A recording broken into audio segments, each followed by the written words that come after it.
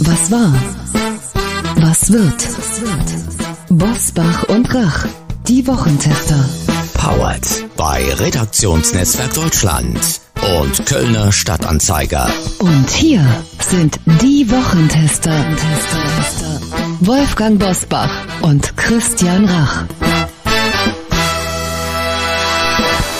Herzlich willkommen, Christian Rach hier aus Hamburg. Herzlich willkommen auch von Wolfgang Bosbach, heute einmal aus Nürnberg. Wir freuen uns sehr, dass Sie zu den ersten Mitgliedern gehören in unserem neuen Wochentester Club, denn wir haben Sie gefragt, was wir an unserem Podcast noch verbessern können. Und Ihnen war wichtig, einen direkteren Kontakt zu uns zu haben und das Ganze werbefrei. Im Wochentester Club bekommen Sie das ab sofort, denn Sie werden die Möglichkeit haben, uns persönlich zu treffen. Sie können uns regelmäßig in Spezialfolgen Fragen stellen und wir haben tolle Buchempfehlungen und Überraschungsaktionen für Sie und noch mehr. Die ersten drei Mitglieder unseres Clubs laden wir zu den Wochentestern live am 25. Oktober nach Köln ein. Mehr dazu gleich. Doch bei allen Neuerungen bleibt eine so, wie Sie es von uns gewohnt sind. Debatten ohne Scheuklappen. Unabhängig, mit Klartextgarantie und wir werden selbstverständlich auch weiterhin erklären statt belehren. Was war? Was wird heute mit diesen Themen und Gästen?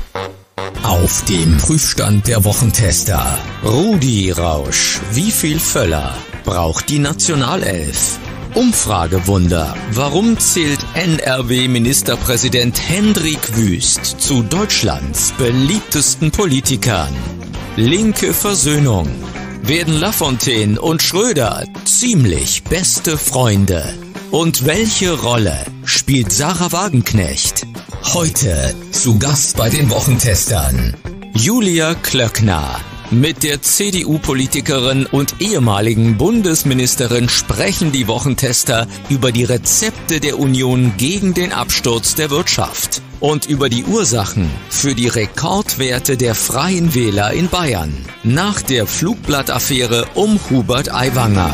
Und auch er ist im Club dabei, unser Redaktionsleiter Jochen Maas, der sich immer dann zu Wort meldet, wenn wir ein klares Urteil abgeben sollen. Hallo und herzlich willkommen zu den Wochentestern. Heute mal mit einem extra herzlichen Hallo an unsere ersten Clubmitglieder. Denn wenn Sie uns jetzt hören, haben Sie alles richtig gemacht und sind Mitglied im Wochentester Club. Sie hören uns dort entweder direkt über die Apple Podcast App, über Spotify oder über unseren Partner Steady. Auf allen drei Plattformen erhalten Sie ab sofort die reguläre Folge und noch viel mehr von Bosbach und Rach als Mitglied im neuen Wochentester Club. Mit exklusiven Podcast-Folgen, Live-Events, Buchempfehlungen und Überraschungsaktionen wie handsignierten Büchern oder einem besonderen Weihnachtsgeschenk für Sie. Und mit der Möglichkeit, Wolfgang Bosbach und Christian Rach regelmäßig Fragen zu stellen und sie persönlich zu treffen. Zum Beispiel am 25. Oktober im Studio Dumont in Köln.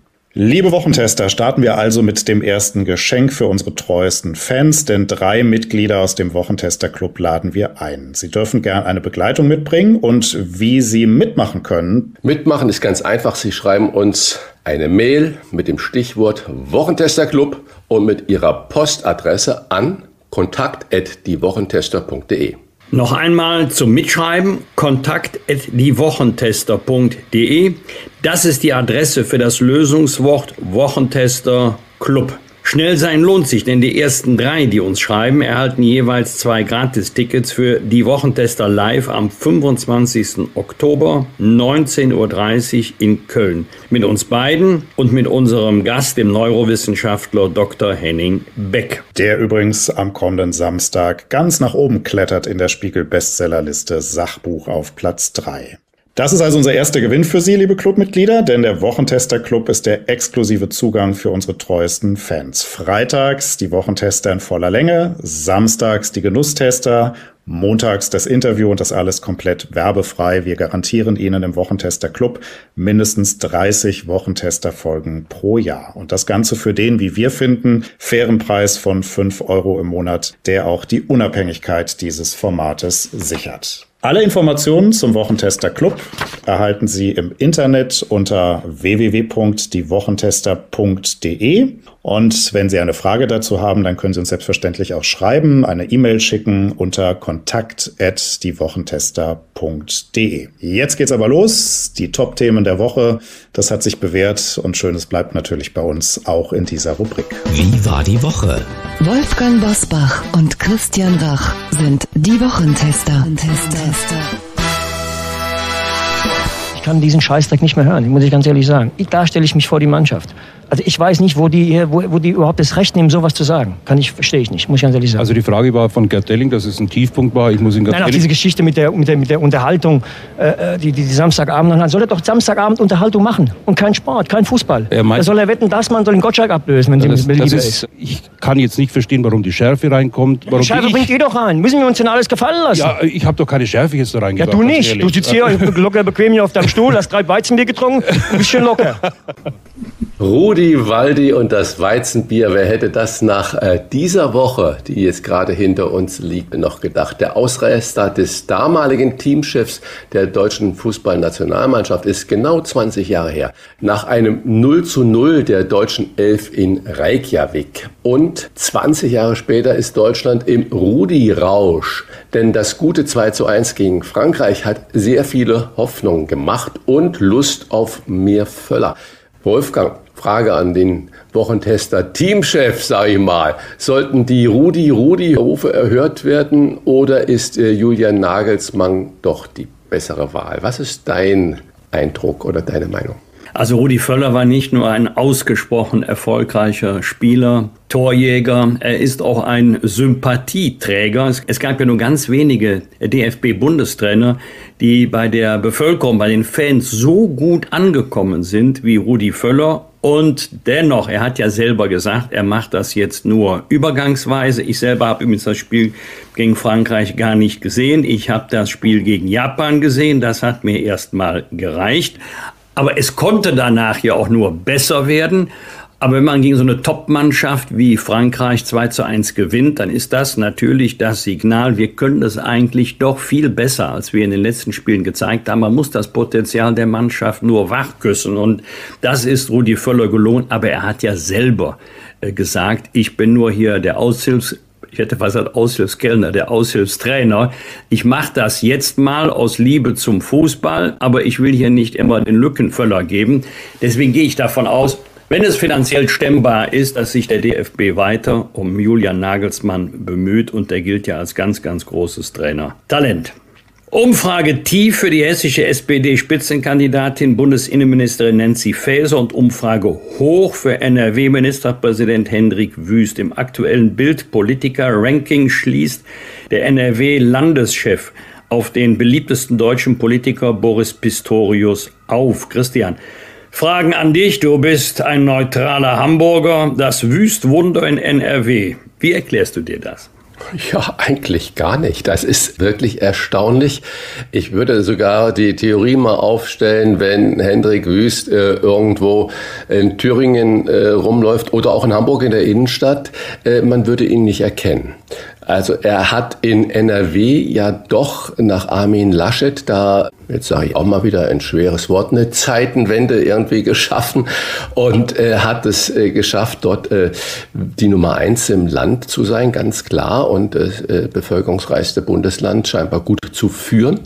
Äh, aber ich glaube, bundespolitisch als Gesicht, als handelnde Person ist er noch nicht so präsent. Ja, warum? Er ist, glaube ich, äh, seriös. Er ist kein Polterhannes. Er haut nicht permanent auf den Tisch und krakeelt äh, darum, sondern er macht, glaube ich, zuerst bei euch im Bundesland eine gute Arbeit. Er arrangiert sich sehr gut mit den Grünen.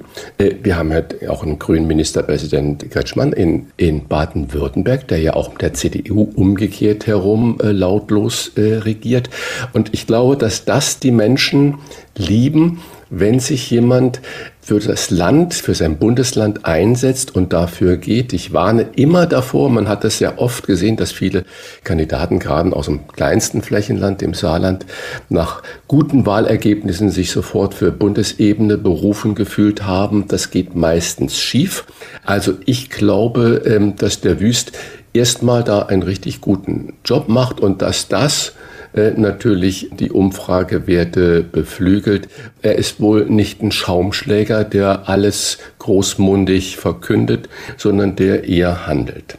Aber ich bin an Wüsten nicht nahe genug dran und kann es mir so richtig nicht erklären, muss ich sagen. Aber Frage an dich, lieber Wolfgang, weil du natürlich die NRW-CDU aus dem FF kennst. In der bundesweiten Präsenz, ich habe es gerade schon gesagt, spielt ja Wüst gar keine große Rolle. Also ich glaube nicht, dass er überall immer und sofort erkannt wird. Da bist du, glaube ich, ganz weit vorne damit. Auch in den Medien sieht man ihn nicht so oft. Was glaubst du denn als CDU-Insider? Was macht ihn denn so beliebt?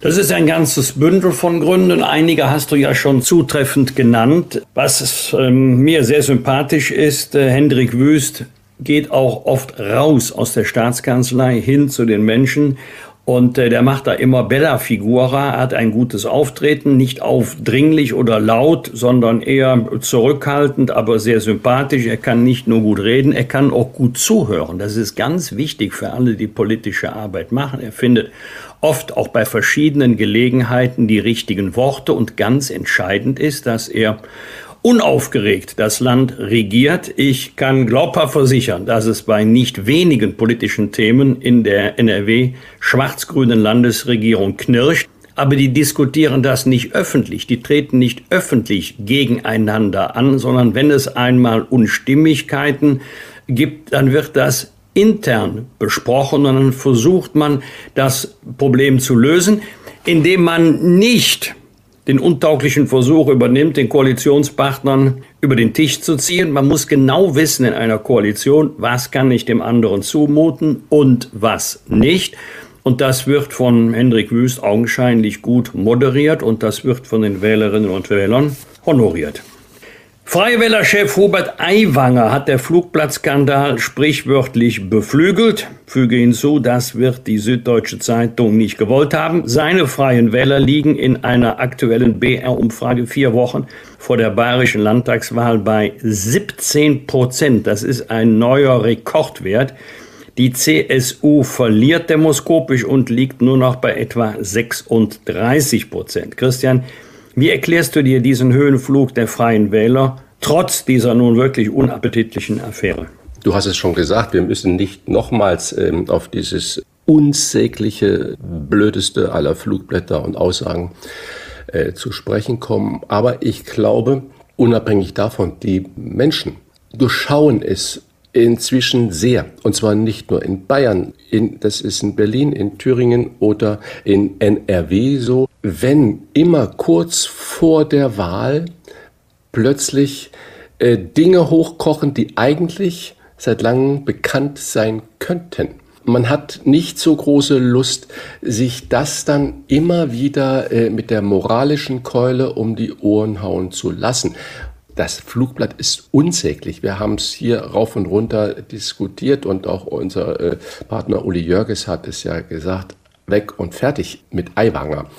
Aber ich glaube, die Menschen haben nicht mehr das Gefühl, dass sie durch solche Meldungen schockiert sind und dass das dann zum Handel geht, sondern sie haben eher das Gefühl, dass man ihnen nicht immer den moralischen Spiegel vorhalten sollte oder muss und stärken dann umso mehr denjenigen, den sie da für Unrecht oder für nicht rechtens angeklagt halten. An das Beispiel Rammstein, die Welle der Empörung, die vor allen Dingen auch in den Medien natürlich geschürt wurde über äh, dieses äh, Verhalten des äh, Rammstein-Sängers Lindemann, ist sofort weg, als dann jedes Gericht gesagt hat, es gibt keine, oder die Staatsanwaltschaften, keine nachvollziehbaren oder justiziablen Vorgänge, die wir wirklich vor Gericht vorbringen können und die Aufsicht auf ähm, Erfolg haben. Und die Rammstein-Konzerte waren auch innerhalb dieser Zeit, als es so hoch herging, brechend voll und ausgebucht. Ich finde das auch unsäglich, was da passiert ist. Also was der Lindemann äh, scheinbar gemacht hat, das ist ja wohl unstrittig. Aber die Menschen stimmen heute anders ab. Sie wollen sich nicht immer bevormunden lassen über wie sie zu leben haben, was sie zu sagen und zu denken haben und äh, haben dann, glaube ich, sehr häufig dieses Jetzt ist Recht Gedanke. Es ist äh, schwierig. Wir haben letzte Woche, da muss ich ja mal äh, sagen, da bist du ja wirklich nicht prophetisch gewesen, sondern sehr klar analytisch, lieber Wolfgang. Du hast über Nancy Faeser gesprochen. Diese Affäre äh, über den Chef des äh, für Datensicherheit war es ja, ne? oder Informationssicherheit, Schönborn. Was da seit über einem Jahr ja läuft, hat, glaube ich, nichts mit der jetzigen Wahl in Hessen zu tun, sondern es ist einfach absolut nicht gutes Verhalten der Innenministerin gewesen. Und wenn man sieht, dass erst jetzt, wir haben vor über einer Woche darüber gesprochen, ernsthafte, seriöse Berichterstattung darüber gibt, dann äh, wird da oft meines Erachtens mit zweierlei Maß gemessen. Aber äh, so richtig erklären kann ich das nicht, was Aiwanger angeht und was die Freie Wähler in Bayern angehen. Das sollen äh, Soziologen oder Parteienforscher uns mal bitte schön haarklein äh, gerne auch bei uns in einem Gespräch mal servieren und das mal herausfiltern. Was glaubst du denn, was da passiert? Also ich glaube, dass es ähm, nicht nur, aber insbesondere drei Dinge sind, die zu dieser Entwicklung, zunächst mal demoskopischen Entwicklung, geführt haben. Ob sich diese Entwicklung am Wahltag verfestigt, am 8. Oktober, das wissen wir ja noch nicht. Erstens, der Sachverhalt selber hat im Laufe der Zeit überhaupt keine Rolle mehr gespielt. Also für mich ist es nicht egal, ob dieses antisemitische Machwerk von Hubert Aiwanger stammt oder seinem älteren Bruder. Ich würde schon gerne wissen, wer hat das denn verfasst. Also die Urheberschaft des älteren Bruders einfach zu übertragen auf Hubert Aiwanger, das ist ein bisschen sehr schlicht. Die Frage, wie kamen denn die Flugblätter in seine Schultasche, ist relevant und hat er auch zu meiner Überzeugung nicht überzeugend beantworten können, diese Frage. Hat er sie eingesammelt oder wollte er sie verteilen? Der zweite Punkt ist, so kurz vor der Landtagswahl in Bayern, nach über drei Jahrzehnten, da bekommen auch äh, andere, die nicht irgendwie parteipolitisch gebunden sind, das Gefühl, wieso hat der Lehrer, äh, der das über Jahrzehnte aufbewahrt hat, sich eigentlich nicht früher gemeldet. Hubert Aiwanger ist seit vielen, vielen Jahren Politiker, er ist seit einigen Jahren Staatsminister, Wirtschaftsminister in Bayern, da war doch eigentlich Zeit genug. Also da wurde offensichtlich das Pulver trocken gehalten. Dann ging man zur Süddeutschen Zeitung, weil man natürlich wusste, das sind dankbare Abnehmer. Und das ist in einer Weise manipulativ, dass vielen Leuten das nicht geschmeckt hat, unabhängig jetzt vom Sachverhalt selber. Und der dritte Punkt ist, wenn sich alle auf einen stürzen, das habe ich schon mehr als einmal erlebt, dann gibt es so eine Gegenbewegung, die sagt, nee, das ist aber jetzt ein bisschen sehr viel. Wieso ist eigentlich über andere Anführungszeichen Jugendsünden, also für mich ist das Flugblatt keine Jugendsünde. Aber ich nehme diesen Begriff jetzt einmal, weil er eingebürgert ist. Warum wird eigentlich über die Jugendsünden anderen gar nicht gesprochen? Und wenn allenfalls mit einer kleinen Randnotiz, das galt für den ähm, ehemaligen Straßenkämpfer Joschka Fischer. Das war später äh, einer der beliebtesten Politiker in der Republik als Außenminister in der Regierung Schröder-Fischer. Oder denken wir an die pädophilen Anwandlungen, die vor langen, langen Jahren Daniel Cohn-Bendit äh, gehabt hat. Das haben ihm die Medien nie vorgehalten. Er ist respektabler Europaabgeordneter geworden und auf einmal gelten alle diese Regelungen nicht mehr für die Causa Aiwanger. Und da sagen eben viele, nee, so nicht. Und wenn man sie dann fragt, bringen sie jedenfalls bei Umfragen ihre Sympathie mit dem Angegriffenen und seiner Partei zum Ausdruck. Du hast gerade schon Schröder erwähnt. Und am Samstag, wir hatten es letzte Woche auch schon mal erzählt, wird der ehemalige SPD-Chef Oskar Lafontaine 80 Jahre alt. Und in dieser Woche berichtet der Stern, dass es bereits im Mai zu einem versöhnlichen Gespräch zwischen Lafontaine und seinem ewigen Dauerrivalen Gerhard Schröder in seinem Haus im Saarland gekommen ist, also im Hause Lafontaine. Parallel dazu wird bekannt, dass es mit der Parteigründung von Sarah Wagenknecht offenbar langsam ernst wird. Wolfgang, ist das Zufall oder erleben wir demnächst den Putin-Freund Schröder in der Partei der Russlandversteherin Sarah Wagenknecht? Das letzte glaube ich nicht. Schröder ist viel zu sehr SPD. Er hat ja auch um seine Mitgliedschaft in der SPD gekämpft. Er wird übrigens, obwohl es ein gescheitertes Parteiausschlussverfahren gab, demnächst für 60-jährige Mitgliedschaft geehrt. Nein, mein Tipp, er wird die Partei nicht verlassen. Also wir werden ihn da nicht als Mitglied der Partei von, äh, davon gehe ich übrigens aus, äh, von Sarah Wagenknecht sehen. Denn sie tritt ja ganz bewusst jetzt nicht an, weil sie natürlich ist ja schlau. Sie weiß ja, wenn sie jetzt schon angetreten wäre in Hessen und Bayern, hätte die junge Partei eine ordentliche Klatsche bekommen. Aber wenn sie nächstes Jahr antritt bei drei Wahlen in den neuen Bundesländern, ist durchaus möglich, dass die neue Partei mit einer populären und bekannten Parteivorsitzenden die 5%-Hürde überspringt und dann immer mit Blick auf die Bundestagswahl im Jahr darauf. Aber ja gut, vielleicht werden jetzt beide altersmilde, Gerhard Schröder und auch Oskar Lafontaine. Ist ja schon über 24 Jahre her, dass Oskar Lafontaine als Bundesfinanzminister drei Briefe geschrieben hat und weg war er, ist zurückgetreten als äh, Finanzminister, ist aus der SPD ausgetreten und er hat sein Mandat im Deutschen Bundestag niedergelegt und jetzt versuchen eben, also damals war ja Schröder Bundeskanzler und Oskar Lafontaine war kurze Zeit sein Finanzminister. Dann haben sie sich politisch so weit auseinandergelebt, dass äh, Oskar Lafontaine gegangen ist. Jetzt versucht man wieder so alte Gesprächsfaden äh, aufzuknüpfen und, davon gehe ich mal aus, in der Causa Russland-Ukraine werden beide sehr, sehr ähnlich denken. Und ähm, Vielleicht freut sich ja auch Gerhard Schröder, wenn es noch Häuser gibt, in denen er herzlich willkommen ist. Und dazu gehört das Haus Lafontaine-Wagenknecht ganz sicher. Mhm. Aber du hast es ja gerade schon so ein bisschen suffisant ge gesagt. Und äh, es gibt ja immer äh, auch sowas wie ziemlich beste Freunde in äh, der Politik. Und äh, von außen betrachtet finde ich es erst einmal ganz gut, dass äh, so ein Treffen Schröder, äh, Lafontaine ohne Kameras, ohne Blitzlicht äh, abgegangen ist oder stattgefunden Ja, das war in der Saarschleife noch, äh, mit den damaligen Ehefrauen der beiden anders. Ja, genau. So, und hast du denn Ähnliches erlebt, äh, dass man sich irgendwann mal wieder versöhnt? Ich denke mal so an dein Verhältnis zu Roland äh, Pofalla oder sogar äh, Jutta Dietfurt, wegen der hast du ja mal eine Sendung verlassen. Gibt es dann auch sowas, dass man sagt, man wird altersmilde und man setzt sich da nochmal bei einer Tasse Kaffee oder einem Glas Wein zusammen und bespricht die Sachen? Ich hätte fast gesagt, Pack schlägt sich, Pack verträgt sich. Also bei Roland Pofalla, der Abend war schlimm, aber am nächsten Morgen war er auch vorbei. Er hatte bei mir im Büro angerufen, hat gesagt, ich weiß auch nicht, wieso mir das passieren konnte.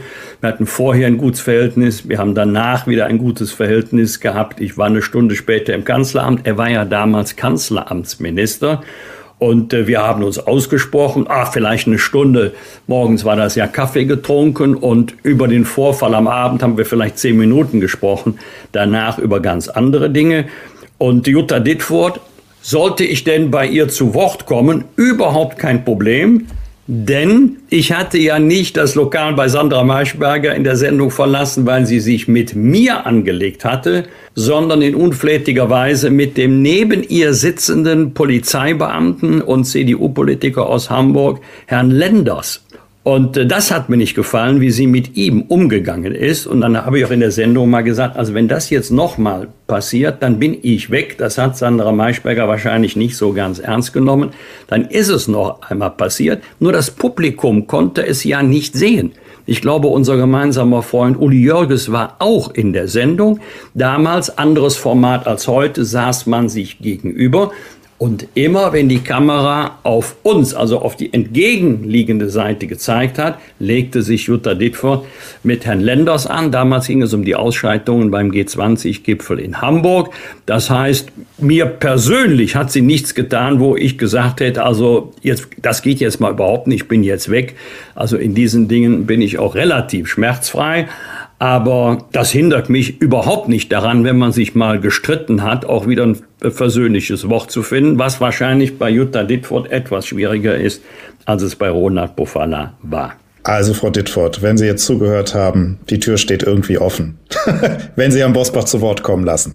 Und in der Causa werden wir den Uli Jörges nochmal fragen, der in der kommenden Woche wieder Vertretung macht und als Gastmoderator bei den Wochentestern dabei sein wird.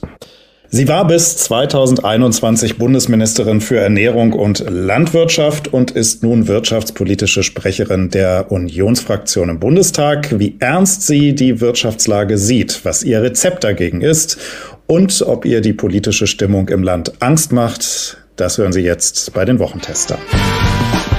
Klartext, Klartext. Wolfgang Bosbach und Christian Rach sind die Wochentester. Tester, Tester. Es vergeht keine Woche ohne neue Hiobsbotschaft aus der deutschen Wirtschaft. Hinzu kommt, mehr als zwei Drittel der Deutschen sind unzufrieden mit der Arbeit der Ampelregierung. Trotzdem kann die Union davon nicht profitieren und die AfD legt leider weiter zu. Welches Rezept sie für den Aufschwung hat und ob ihr die Anti-Establishment-Stimmung im Land Angst macht, das besprechen wir mit der wirtschaftspolitischen Sprecherin der Unions-Bundestagsfraktion, Julia Klöckner. Herzlich willkommen bei den Wochentestern. Guten Morgen. Frau Klöckner, oh. obwohl sein Verhältnis zum Antisemitismus aus der Sicht vieler Beobachter weiterhin ungeklärt ist, profitiert Hubert Aiwanger von der Flugblattaffäre. Seine freien Wähler liegen in Bayern auf dem Rekordhoch von 17 Prozent, während die CSU verliert. Wird heute in der Politik belohnt, wer maximal unangepasst ist und gegen das Establishment wettert? Belohnt würde ich nicht sagen.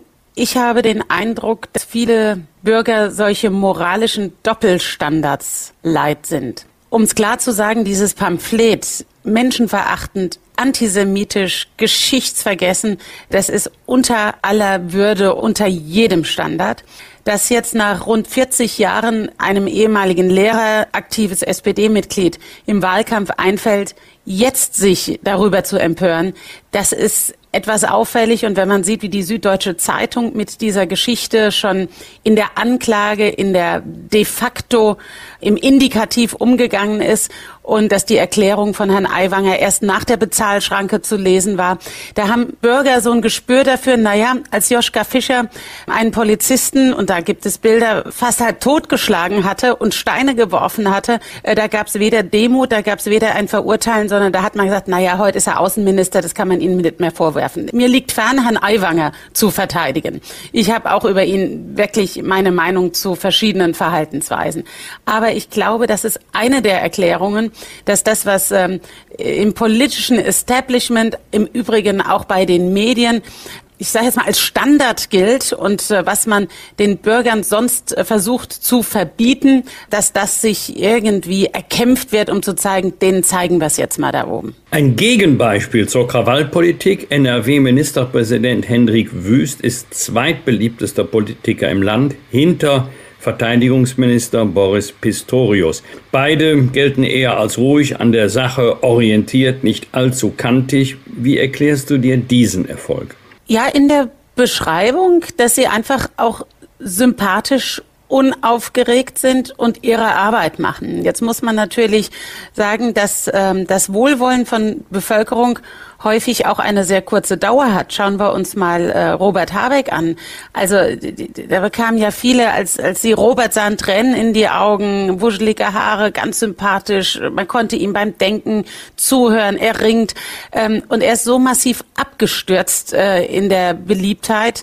Ähm, das ist schon sehr, sehr volatil. Also bis äh, der erste Skandal oder die ersten großen Hindernisse für Herrn Pistorius kommen oder bis in Nordrhein-Westfalen ähm, die Grünen ähm, noch massiver quer im Stall stehen und Hendrik Wüst sich mit ihnen anlegen muss. Also ich sag mal, das ist nicht gebucht von Ewigkeitsdauer. Aber nichtsdestotrotz, die beiden Typen Hendrik Wüst und äh, Boris Pistorius sind welche, die jetzt nicht jeden Morgen aufstehen und sagen, wen brülle ich jetzt als erstes mal an. Und das nimmt man ihnen ab und gutiert es auch. Aber trotzdem muss man natürlich noch ein bisschen da dranbleiben. Hendrik Wüst hat ohne Zweifel diese guten Umfragewerte und wir erleben aber trotzdem so eine Proteststimmung im Volk, die sich gegen alle etablierten Parteien im Land richtet.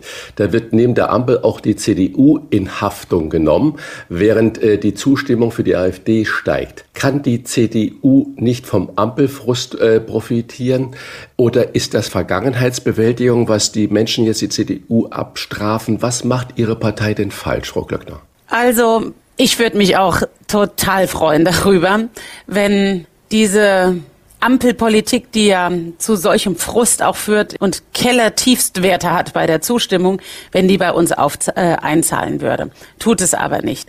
Ähm, ich glaube, es äh, liegt unter anderem auch daran, dass wir 16 Jahre lang an der Regierung waren, haben Gutes gemacht, nicht alles ist gelungen, aber dass viele Bürger uns einfach zu diesem Establishment auch zählen, dass sie gar nicht so sehr unterscheiden, ist das jetzt die Ampel, war das jetzt die Union, sondern ganz viele, und das mag ich auch bei mir im Wahlkreis, das mag ich, wenn ich im Zug sitze, mit Leuten ins Gespräch komme, am Flughafen sprechen mich Leute an. Die sind alle ganz froh, wenn sie einen treffen, sagen, finden wir toll, dass Sie da aktiv sind, Frau Klöckner. Ähm, wir wählen aber diesmal die AfD. Und das ohne rot zu werden, sagen die, und auch ohne, dass es mit Scham behaftet ist. Und wenn ich dann frage, wie kommen Sie denn darauf? Was wollen Sie denn mit der AfD? Die wollen aus der EU austreten, die wollen aus der NATO raus. Ähm, ähm, sagen wir, frauenförderlich sind die auch nicht unterwegs.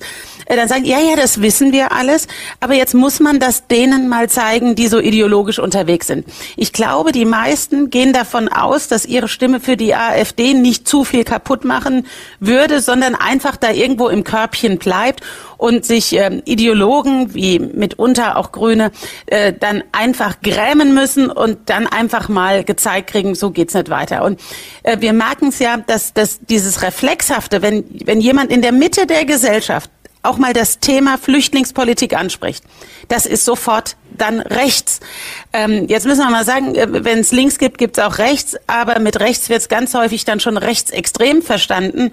Und wenn jemand eine Frage zum Gendern hat, zum übertriebenen Gender, bei uns in Rheinland-Pfalz sagt man wie bei einer Schraube nach fest kommt ab. Viele, die sagen, das hat nichts mit meinem Alltag zu tun, wie ihr da redet, dann ist man auch schon wieder rechts und da haben die Leute einfach die Nase voll und sagen sich, jetzt ist gut. Die Ampel stärkt zurzeit den Sozialstaat enorm. Beispiele sind mehr Bürgergeld, Erhöhung des Mindestlohns, Kindergrundsicherung und trotzdem ist ein großer Teil der Menschen mit der Arbeit der Ampel nicht zufrieden konzentriert sich die Regierung zurzeit vielleicht auf die falschen Zielgruppen, also auf diejenigen, die eher eine Transferleistung bekommen, als den Teil der Bevölkerung, der dafür arbeitet, dass die Transferleistungen überhaupt finanziert werden können. Absolut richtig. Schauen wir uns mal an, das äh, aus Hartz IV wurde Bürgergeld. Beim Umswitchen äh, von Hartz IV auf Bürgergeld gab es eine Erhöhung. Und dann jetzt gab es wiederum eine Erhöhung des Bürgergeldes und da sind wir bei 20 Prozent Steigerung, während äh, kein Arbeitnehmer 20 Prozent Steigerung hat. Jetzt kann man sagen, um die 500 Euro ist nicht viel Geld. Das stimmt. Aber es kommt hinzu, wenn man Kinder hat, wenn man noch einen Partner hat, der im Haus äh, lebt, wenn ähm, man eine, man bekommt die Wohnung ähm, finanziert, die Heizung äh, finanziert, man bekommt an, wenn man das addiert, dann muss jemand im Niedriglohnbereich ähm, ähm, schon gut schlucken. Wenn er das vergleicht, ob er morgens aufstehen muss, auf den Wecker klopft, zur Arbeit fährt, Überstunden macht, ähm, im Stau steht, da ist schlechte Stimmung bei vielen, äh, wenn sie dann auf der anderen Seite sehen, ähm, dass fürs Nichtstun auch Geld bezahlt wird. Und ich glaube, das kippt gerade bei uns ähm, in der Gesellschaft, denn das, was wir verteilen, muss ja irgendwo herkommen und erwirtschaftet werden. Frau Klöckner, es reicht mir nicht ganz aus. Zwei Fragen dazu. Glauben Sie nicht, dass es auch Versäumnisse, Sie haben es gerade vorhin schon selbst angesprochen, 16 Jahre CDU-Regierung in unterschiedlichen äh, Koalitionen, völlig richtig, aber dass man sieht, die Bundesbahn, die Schule, die mangelnde Digitalisierung und äh, Sie haben vieles selber gerade angesprochen, dass das den Leuten erstens auch total auf den Nägel brennt, dass man sagt, wieso konnte das, wir waren so dick und fett und wohlgenährt und jetzt bricht plötzlich alles über uns hinein. Wieso hat man das nicht gesehen? Und das Zweite natürlich, wird die Mittelschicht, Sie haben es ja gerade beschrieben, der aus dem Auto dann rausguckt, wird die Mittelschicht missachtet, bekommt hart arbeitende oder Selbstständige zu wenig das Gefühl vermittelt, ihr seid eigentlich die Träger des Wohlstandes in Deutschland? Zur ersten Frage, keine Regierung macht alles immer richtig und schon gar nicht mit dem Rückblick. Ähm, Regierungen entscheiden ja in der Situation und vieles beurteilt man rückblickend auch anders, weil die Prognosen sich anders ergeben haben. Und ich glaube, diese Fairness muss auch bleiben. Zweitens, wir haben zehn Jahre lang in Folge Wirtschaftswachstum gehabt in Deutschland. Wir haben CO2 im Übrigen seit den äh, 90er Jahren reduziert, 40 Prozent reduziert bei Verdopplung der Wirtschaftsleistung. Das ist was. Äh, nicht alles richtig, aber das ist was. Wir hatten die Krisen in Angela Merkels Regierungszeiten, Wirtschaftskrise, Finanzkrise, Corona-Krise. Ähm, wir, wir hatten so unterschiedlichste Krisen, ähm, wo man wirklich sagen muss, da gab es keine Drehbücher für und ist manchmal auch wohlfeil zu sagen, die 16 Jahre sind ein Synonym für alles. Nein, Deutschland ging es ziemlich gut. Und was, äh, glaube ich, falsch gelaufen ist, ist, dass mit den immer mehr steigenden Steuereinnahmen die Wünsche immer stärker gestiegen sind. Aber Standards, die einmal sozial gesetzt sind, die bleiben stehen, die können Sie in Deutschland quasi kaum noch abbauen, selbst wenn die Kriterien dafür in den Keller gehen, die diese Standards steigen lassen. Und ähm, jetzt kommt was, was natürlich der Bürger selten hören will. Aber wenn es um das Thema Bildungspolitik geht, da hat der Bund wenig Zugriff drauf. Stichwort föderales System. Und wenn Sie mal das Schulsystem vergleichen mit äh, in Bremen mit dem Schulsystem in Bayern, sind die Kinder weniger intelligent oder, oder mehr intelligent, das kann man ja gar nicht sagen. Aber organisiert ist das Schulsystem schon anders, auch was die Qualität, den Output angeht, in Bayern zum Beispiel. Und klar gibt's da immer noch Luft nach oben. Und äh, mit der Digitalisierung haben Sie vollkommen recht. Ich glaube, da hätte der Bund besser die Koordination an sich ziehen müssen und nicht ähm, 16 Lernprogramme gelten lassen dürfen, weil wir sehen, da gibt es einen Flickenteppich in Deutschland, äh, wo was funktioniert, wo nichts funktioniert funktioniert. Wenn Sie zu uns nach Rheinland-Pfalz kommen, wissen Sie genau, wo ich gerade bin, wenn wir telefonieren, weil wir dann abgetrennt werden miteinander, weil immer wieder Funklöcher zum Beispiel kommen oder auch digitale Löcher kommen. Das ist in der Tat ein Problem. Und deshalb müssen wir jetzt Gas geben. Aber was man nicht machen darf, ist just in dieser Zeit, wo wir jetzt Zeitenwende haben, wo die Wirtschaft in den Keller geht, wo wir schrumpfen als Einzige in Europa, dann noch die falschen Schrauben drehen oder sogar diese Bestandsanalyse noch negieren, wie das der Kanzler jüngst gemacht hat und von einem grünen Wirtschaftswunder sprach. Der Kanzler hat nach dem Angriff der Ukraine auf Russland die Zeitenwende verkündigt. Und ähm, Julia, jetzt sagen wir mal ganz ehrlich, wenn wir an der Regierung wären, wir hätten ähnliche Probleme wie die Regierung jetzt. Wir würden die eine oder andere Entscheidung sicherlich ganz anders treffen, aber die Probleme wären die gleichen, die ja auch von außen an die Bundesrepublik herangetragen werden. Wäre es nicht sinnvoll, jetzt noch einmal sich den Koalitionsvertrag anzusehen, genau zur Halbzeit und zu sagen, Zeitenwende kann sich nicht nur auf das Militärische beziehen, sondern auch auf das Ökonomische, auf das Gesellschaftspolitische. Wir müssen heute einiges anders sehen als vor dem Ausbruch des Krieges Russlands gegen die Ukraine und möglicherweise Stellschrauben an dem vornehmen, was wir uns vorgenommen haben. Ja, wir haben eine Zeitenwende wo wir eine ganz breite Unterstützung im Parlament auch für die Rede des Kanzlers gehabt haben. Es gibt Situationen, da darf Parteifarbe keine Rolle spielen. Und dieser Verantwortung sind wir uns als Union bewusst, haben deshalb auch bei dem Sondervermögen für die Bundeswehr mitgemacht, weil da sind unsere Stimmen auch notwendig dafür gewesen. Und ähm, das heißt aber dann auch, dass man bei Zeitenwende nicht mitten auf der Strecke stehen bleibt, sondern dass man beim Thema Zeitenwende das dann auch allumfassend sieht. Kurzum, dieser Koalitionsvertrag, der vor der Zeitenwende geschlossen worden ist, der ganz andere Prioritäten hat, äh, dieser müsste entweder neu verhandelt oder neu justiert oder priorisiert werden. Ich meine, die Ampel ist schnell sich einig bei gesellschaftspolitischen Themen, die aber jetzt gerade unser Land nicht so sehr beschäftigen. Freigabe von Cannabis ging relativ flott. Selbstbestimmungsgesetz, dass man das Geschlecht einmal im Jahr ähm, ähm neu eintragen lassen kann. Das sind Dinge, äh, da sage ich sehr klar, äh, das ist nicht die Priorität unserer Bevölkerung, sondern da geht es eher darum, wie kann ich den Arbeitsplatz und den Wirtschafts- und Industrie Industriestandort hier in Deutschland sichern. Dann lassen Sie uns da kurz drüber sprechen. Es vergeht ja keine Woche ohne neue Negativmeldungen zur Konjunktur. Viele Experten sind sich einig, die Lage ist ernst. Sie haben es gerade auch geschildert. Wir sind Schlusslicht in Europa. Was würden Sie denn jetzt tun? Sie sind ja auch wirtschaftspolitische Sprecherin äh, der Unionsfraktion um die Wirtschaft konkret zu stärken? Reicht dieses zum Wachstumschancengesetz, das für der Ampel man muss ja sagen, mühevoll beschlossen wurden, reicht das aus? Oder was würden Sie jetzt tun, wenn Sie heute jetzt sagen können, das, das, das ist die Maßnahme? Also das wären nicht einzelne Stellschrauben, sondern das müsste ein gesamtes Paket, ein Sofortprogramm Wirtschaft sein. Dieses Mini-Wachstumschancengesetz, das war ja eine unglaublich schwere Geburt, aber glauben Sie nicht, dass da jetzt schon was beschlossen ist davon. Also man hat sich geeinigt, auch deskriptiv, wo es hingehen soll, aber am Ende zählt nicht das Sagen, sondern das Machen und die Zeit, die drängt ja wie verrückt jetzt gerade. Ja klar, aber wir was haben, würden Sie machen? Und wir würden, wir haben ein Sofortprogramm Wirtschaft vorgelegt. Wir hatten jetzt zum Beispiel auch mit dem geschäftsführenden Vorstand der CDU-CSU-Bundestagsfraktion eine Klausurtagung genau dazu mit der sogenannten Sauerländer Erklärung und einfach mal beispielhaft.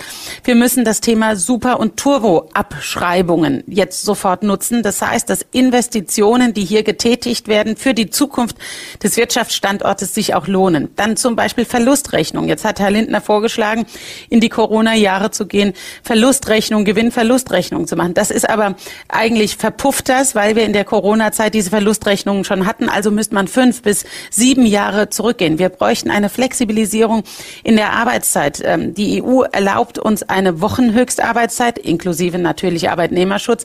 Deutschland macht aber die Tageshöchstarbeitszeit. Das ist eine mangelnde Flexibilisierung. Wenn wir weitergehen, das Thema Dokumentation, Bürokratie, ähm, schauen wir nur mal diese sogenannten A1-Bescheinigungen, wenn jemand äh, in europäische Ausland als Arbeitnehmer reist, da muss man einen eigenen Mitarbeiter nahezu für abstellen in Betrieben. Die Genehmigungsverfahren dauern zu lang. Wir müssten umswitchen von dem Warten auf eine Genehmigung auf eine Genehmigungsfiktion. Also wenn eine Behörde bis zum gewissen Zeitpunkt nicht entschieden hat, gilt ein Antrag als genehmigt. Wir müssen die Lohnnebenkosten deckeln auf 40 Prozent, so wie wir das in der vergangenen Legislaturperiode gemacht haben. Wir sind jetzt bei 41, 50 Prozent. Das macht Arbeit in Deutschland viel teurer und deshalb wettbewerbsunfähiger. Also das ist ein ganzes Maßnahmenbündel und natürlich muss Energie günstiger werden. Ähm, hier wurde künstlich durch das Abschalten der Kernkraftwerke wurde die Energie verknappt, die Abhängigkeit vom Ausland erhöht, die Preise sind gestiegen und wir importieren so viel Energie wie selten zuvor oder wie nie zuvor. Und äh, das ist nicht nur psychologisch ein Problem, sondern das ist de facto, wenn man in den Geldbeutel schaut, ein Problem, auch für die deutsche Wirtschaft. Gerade deine Heimat Rheinland-Pfalz, dein Wahlkreis rund um Bad Kreuznach ist ja nicht bekannt für Großindustrie, sondern eher für kleinere mittelständische Betriebe, für Familienbetriebe. Worunter leiden die zurzeit am meisten? Auch ein Strauß. Ähm, es ist einmal mangelnde Arbeits- und Fachkräfte, also offene Stellen, durchaus Aufträge, die noch nicht abgearbeitet sind, gerade im Handwerkerbereich, großes Problem. Ähm, zweiter Punkt, Inflation, steigende Materialkosten, ähm, hohe Energiekosten und natürlich gerade die mittleren, die kleinen Betriebe, Stichwort, wenn wir uns mal das äh, Lieferketten-Sorgfaltspflichtengesetz anschauen, äh, Dokumentation, Dokumentation und nochmal Dokumentation. Auch selbst wenn sie de facto äh, auf, auf Grundlage des Gesetzestexts nicht runterfallen würden, sie fallen aber jetzt mittlerweile drunter, weil Großkonzerne natürlich vieles auch abdrücken auf kleinere Unternehmen. Kurzum, die brauchen einfach Luft zum Atmen und dass ihnen etwas von ihrem Geld, was sie erwirtschaften, auch bleibt und ähm, dass auch Arbeitsmarktregelungen ähm, ähm, nicht so starr sind, denn je kleiner der Betrieb, umso flexibler muss er ja auch sein und agieren können. Sie haben vorhin so schön erzählt, wenn Sie im Flughafen sind oder im Zug sitzen, werden Sie von vielen Menschen angesprochen, die dann das Gefühl haben, Mensch, endlich treffe ich mal jemand, mit dem ich da reden kann und die sagen Ihnen dann einfach so ins Gesicht, ja, aber das nächste Mal, da wählen wir dann die AfD. Wie und wo kann man denn diejenigen inhaltlich erreichen, die Wut haben oder die mhm. den Mut verloren haben? Also wir müssen ja auch mhm. Mut haben und die kein Vertrauen mehr haben, dass die Politik ihre Probleme wirklich löst oder anpackt. Jeder sieht das ja individuell für sich in seinem kleinen, intimen Kreis. Ja, also ich glaube, das Allerwichtigste ist erstmal Empathie und Augenhöhe und nicht von oben herab die moralische Keule, weil dann macht jeder dicht, geht der Rollladen runter. Ähm, ich glaube, das ist ein ganz ähm, wichtiger und, und entscheidender Punkt. Der zweite Punkt ist inhaltlich, sich mit Punkten auseinanderzusetzen. Ich mag immer wieder, wenn man das Thema EU und NATO zum Beispiel anspricht, ähm, wo ja wirklich die, die AfD eine destruktive Haltung hat und man sich dann auch wirklich bemüht, dazu ins Gespräch zu kommen dass einige ins Nachdenken kommen. Also nicht übers Internet werden wir das schaffen, sondern wir müssen die Leute treffen. Wir müssen bereit sein, wieder, ich sage jetzt mal, back to the roots, zurück in die Gespräche vor Ort zu gehen. Ich mache Bürgersprechstunden mittlerweile auf dem Marktplatz bei mir im Wahlkreis. Das heißt, wir sind verschiedene Wochenmarken, da ist angekündigt, da komme ich mit meinem Schirm, da steht was drauf, da haben wir einen Korb von Äpfel stehen, da gibt's einen Kaffee zu trinken und die Leute kommen unangemeldet, können die beim Vorbeischlendern sondern bei mir stehen bleiben. Und mittlerweile erleben wir es, dass sich da Trauben von Leuten bilden, die miteinander plötzlich reden oder die in dem großen Kreis mich was fragen und plötzlich so ein Pop-up-Bürgergespräch äh, stattfindet. Das kann ich natürlich jetzt nicht 80 Millionenfach machen, aber ich glaube, wir müssen da wieder wirklich ran, dass wir greifbarer sind. Darf ich kurz eine Nachfrage äh, stellen? Ihr Landtagskollege in Thüringen von der CDU, der hat Ihre Fraktion da einen Eintrag äh, eingebracht in den Landtag, doch die Grunderwerbssteuer zu senken, der nur dann eine Chance hat, wenn die FDP und auch die AfD mitmacht. Er hat das gut begründet, warum er glaubt, dass das Senken der Grunderwerbssteuer denn äh, jetzt in dieser Zeit äh, wirklich zuträglich wäre, Bauwirtschaft. Und Sie haben die Probleme schon angemacht. Sofort kommt natürlich von SPD, den Grünen und so weiter Gegenwind. Wie kann man so einen Antrag einstellen, einbringen, weil man doch weiß, dass er nur eine Chance hat, wenn die AfD zustimmt. Das sabotiert doch jegliche Oppositionsarbeit oder jeglichen Fortschritt, wenn man sogar eigene Anträge nicht mehr einbringt, um nicht in den Verruf zu kommen, dass die AfD da zum Beispiel Ja zusagt. Ist nicht das auch ein Punkt, was viele Menschen draußen im Land so frustriert, dass man sagt, ja, spinnen die denn? Ich weiß jetzt gar nicht, ob so viele Menschen im Land äh, die Einzelvorgänge auch jeden Tag ähm, da vor Augen haben, wie Parlamentarismus dann, äh, sagen wir mal, im Werkskeller dann auch abläuft. Aber ich meine, äh, da entblödet, also Entschuldigung, aber entblödet sich die SPD ja selbst. Also sie glaubt, ähm, durch so eine Drohung eine Opposition mundtot machen zu können. Also die SPD könnte ja auch diesem guten Vorschlag zustimmen dann wären die Stimmen der AfD ja gar nicht notwendig. Also am Ende ist es doch so, man kann doch als Opposition nicht seine Arbeit einstellen ähm, und eigene Vorschläge machen, weil das wäre ja dann der nächste Vorwurf, ihr macht ja keine eigenen Vorschläge, wenn es droht, dass die AfD einen guten Vorschlag auch für gut befindet. Es ist ein Unterschied, ob eine Union einem AfD-Vorschlag zur Mehrheit verhilft oder ob sie nicht verhindern kann, dass auch die AfD ihrem Vorschlag zustimmt. Im Deutschen Bundestag ist es so, dass die AfD sogar schon grünen Anträgen oder FDP-Anträgen zugestimmt hat oder sogar linken Anträgen zugestimmt hat. Also man kann sich ähm, ja auch nicht erwehren, dass sie zustimmen, aber ich kann auch nicht immer nur sagen, ich bringe nur die Anträge ein, die niemals Erfolg haben werden. Also das wünscht sich eine Regierung, egal welche Farbe sie hat, aber das ist ja dann keine Demokratie mehr. In der AfD gibt es zweifellos stramme Rechtsextremisten und auch Nazis. Aber ich bin weit davon entfernt zu sagen, alle Mitglieder kann man da einsortieren oder alle Wählerinnen und Wähler denken ebenso. Aber die meisten wählen, oder viele jedenfalls, werden nicht aus einer rechtsextremistischen Überzeugung, sondern aus Frust AfD wählen oder bei demoskopischen Umfragen zur AfD stehen. Deren Politik würde aber, so Marcel Fratscher, mit dem haben wir das in einer der letzten Folgen gesprochen, den eigenen Wählerinnen und Wähler der AfD schaden, denn die politischen Forderungen der AfD sind oft im Widerspruch zu dem, was sich deren Wählerinnen und Wähler von der Politik wünschen. Warum wird dieser Widerspruch von etwa 20 Prozent der Deutschen nicht erkannt? Ja, weil es in erster Linie gar nicht darum geht, sondern es geht bei den allermeisten erstmal um Protest gegen das, was jetzt gerade gilt und was eine Mehrheit gerade durchsetzt, mitunter sogar durchdrückt, Stichwort Heizungsgesetz. Weil es erstmal um den Protest geht. Für das andere, sich dann kritisch damit auseinanderzusetzen, braucht man natürlich dann wiederum auch ähm, nicht nur die Bereitschaft, ähm, sich damit auseinandersetzen zu wollen, sondern auch die Relevanz.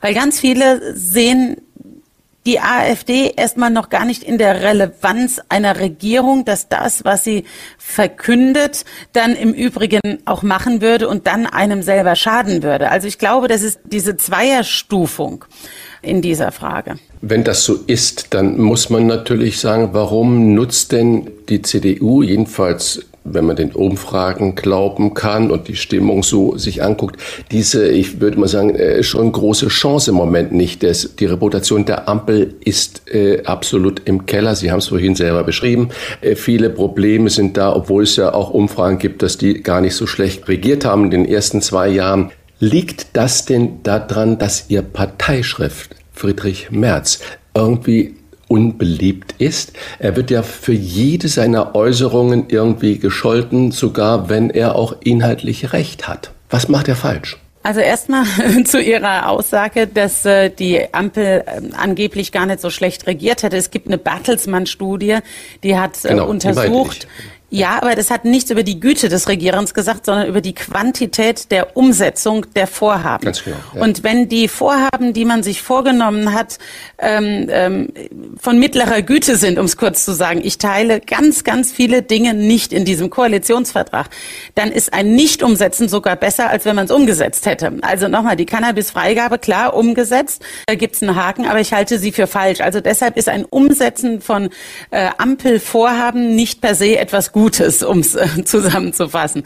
Das ist das eine. Der zweite Punkt ist, die Union hat nach aktuellen Umfragen, ich bin damit nicht zufrieden mit der Höhe der Umfragen, nicht, dass wir uns da falsch verstehen, aber wir haben ähm, so viele Stimmen laut Umfragen wie SPD und Grüne zusammen. Also auch um da die Relation nochmal festzuhalten. Und jetzt geht es um ähm, den Parteivorsitzenden. Also wenn ein Olaf Scholz Bundeskanzler werden konnte und wir wissen, wie seine Zustimmung war, er wurde sogar als Parteivorsitzender von den eigenen Leuten abgelehnt, dann relativiert das auch viel. Friedrich Marz ist viel gelungen. Bei einer Partei, die nach 16 Jahren die Regierungsverantwortung verloren hat, besteht immer die Gefahr, dass sie implodiert, explodiert, in die Irrelevanz übergeht. Das sehen wir bei anderen europäischen Ländern, was auch mit äh, sogenannten konservativen ähm, Parteien passiert ist. Und er hat es geschafft, dass diese Partei Union trotz dieser Wahlniederlage arbeitsfähig ist, dass äh, Fraktion und Partei ähm, neu aufgestellt sind und dass wir wirklich als konstruktive Opposition ähm, auch jetzt wahrgenommen werden. Und jetzt geht es darum, in der zweiten Halbzeit das auch in Zustimmung umzumünzen. Letzter Punkt, wenn man Kanzlerkandidaten zum Beispiel sich anschaut aufgrund ihrer Beliebtheit, da hat seltenst äh, haben die Beliebtheitswerte gezogen, sondern am Ende wurde äh, eine Umsetzungskompetenz und eigentlich eine Partei gewählt. Also insofern sage ich, äh, keine Personaldiskussion ist uns gut angeraten in der Partei, das einfach mal zu lassen. Aber das klingt ja gerade schon so ein bisschen, als würden Sie ein Plädoyer für Friedrich Merz als Kanzlerkandidat gegeben haben. Also es ist ein klares Plädoyer für die ähm, äh, für die Autorität eines Parteivorsitzenden und der Partei oder die Parteivorsitzende der Bundes-CDU, der CDU Deutschlands, hat natürlich immer den Anspruch, auch Kanzlerkandidat zu sein. Ist es richtig, dass wir die Menschen wieder mehr zu Leistung ermutigen müssen, wie Friedrich Merz gemeint hat? Ich würde nicht sagen die Menschen, weil es ganz viele gibt, die äh, sind jetzt schon ein paar Stunden unterwegs und arbeiten und äh, die leisten ziemlich viel. Aber es gibt auch eine Tendenz, schauen wir uns nochmal an, ähm, IG Metall fordert vier Tage Woche bei vollem Lohnausgleich und das im Übrigen auch für eine Branche, die zurzeit massiv und hoch subventioniert wird, Stichwort grüner Stahl. Ähm, da passt einiges nicht zusammen. Also ähm, klar ist es wunderbar, man kriegt vollen Lohnausgleich und muss weniger arbeiten, aber es ist unrealistisch und sich anzustrengen, dass Leistung sich lohnt, ähm, das ist etwas, was Deutschland vorangebracht hat und im Übrigen wächst man da dann auch selber über sich hinaus. Also wir können nicht immer nur Aktion Schneeflocke machen. Äh, jeder ist individuell, aber äh, ziemlich fragil dann, sondern ähm, auch Bundesjugendspiele, Stichwort Leistung. Ähm, klar, der eine gewinnt mal, der andere verliert, aber dass jetzt äh, Bundesländer dazu übergehen, nur Teilnahmeurkunden auszuhändigen, weil ähm, das nicht auf dem Siegertreppchen zu stehen äh, mental zu hart für die Kinder sei, äh, dann können wir auch den Ball beim Fußball abschaffen. Also ähm, ja, ich finde schon, dass man über Leistung und Anreize viel stärker reden muss. Man muss, äh, wie hat äh, der BDA-Hauptgeschäftsführer gesagt, Bock auf Arbeit machen. Ähm, das ist äh, nicht rechts oder links, auch wenn das von vielen dann wieder vorgeworfen wird, das sei reaktionär. Ähm, ich finde es ganz wichtig, sich auch vor Augen zu führen, dass eine neue Generation natürlich neue Ansprüche hat. Das mag ich auch, wenn ich Bewerbungsgespräche führen, Work-Life-Balance. Aber ich sage, zu Work-Life-Balance gehört halt auch ein bisschen Work, ehrlich gesagt. Und wenn man im Vorstellungsgespräch erstmal abcheckt, wie viele Tage der Woche man eben nicht ins Büro kommen müssen sollte, ähm, dann kippt sowas irgendwann. Oder man muss sehr klar machen, gut, freie Entscheidung, weniger arbeiten, aber dann gibt's halt auch weniger ähm, ähm Leistungen dafür, beziehungsweise auch weniger, was man rauskriegt. Bei vielen wird, und Sie haben es gerade ja auch so erzählt, über Büro, sprich Bürojobs äh, gesprochen. Das kann der Maurer, der Klempner, der Elektriker oder auch der Krankenpfleger, die Ärztin, die können das eigentlich nicht so machen. Wie können wir denn in der Gesellschaft wieder diese Lust an diesen Jobs erzeugen? Das ist, dass man weiß, ich tue was mit meinen Händen und mit meiner Empathie. Sie können keine bedürftigen Menschen pflegen im Krankenhaus oder in der Altenpflege, ohne auch empathisch zu sein, unabhängig unabhängig des Könnens und der Fachausbildung. Wie kriegen wir denn das wieder hin, dass die Menschen nicht nur ihr Work-Life, ich würde sogar sagen Life-Life-Work-Balance in den Vordergrund stellen? Na, Leistung muss sich lohnen, dass der, der arbeitet und der sich ein bisschen was zumutet, am Ende auch mehr in der Tasche hat auch Anerkennung, aber auch in der Tasche hat, um sich was leisten zu können. Das halte ich für ganz wichtig.